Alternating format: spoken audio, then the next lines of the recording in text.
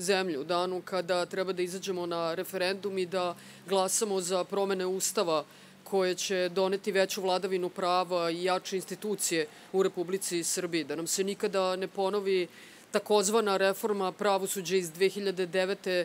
godine koja u stvari bila čista politička čistka sudija i u jednom danu su otpustili 837 sudija zato što nisu bili politički podobni. Čistka koja je sve građane naše zemlje koštala 44,4 miliona evra ukupno. Dakle, razgovarat ću danas pre svega o referendumu zato što je to najvažnija stvar u ovom trenutku za naš dalji razvoj i za jačanje Srbije.